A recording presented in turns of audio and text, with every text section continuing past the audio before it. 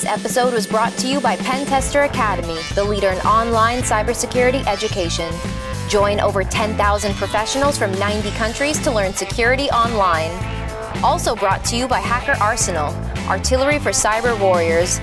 Visit us on hackerarsenal.com to check out our latest attack defense gadgets.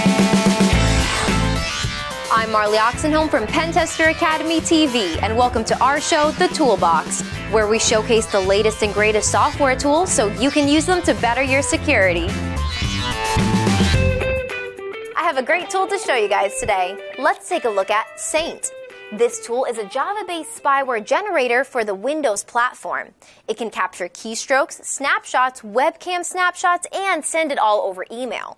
This tool is written in Java and was developed by Tiago Rodrigo Lampert. Now, you're probably wondering how to use this tool. We'll take a look at this great example. In this demo, we will learn how to generate a spyware binary in order to capture keystrokes, webcam, and Windows snapshots from the target user's machine. First, let's run the saint.jar file. We need to feed the required information in order to generate the spyware like email ID and password of the attacker's account where the stolen information will be sent.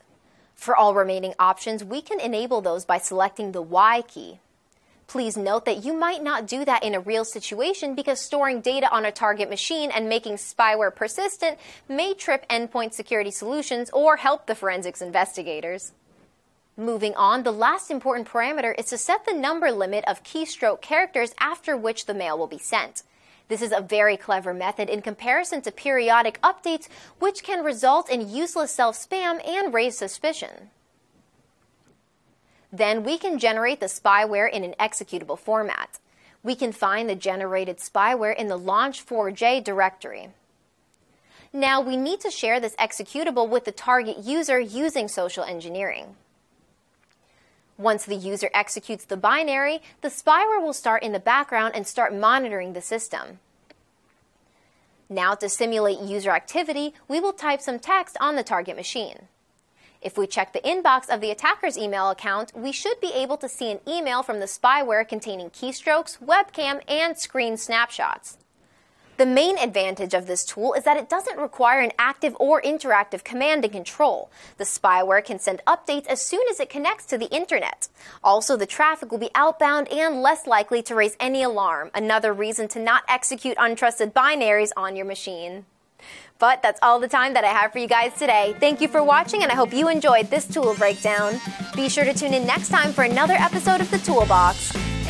Also, make sure to subscribe to our YouTube, Twitter, and Facebook so you don't miss out on any of the latest cybersecurity news. Do you have an open source tool that you would like to appear on the show? Then send us the GitHub link at our email address at media at pentesteracademy.com for consideration. This episode is brought to you by Pentester Academy, the leader in online cybersecurity education.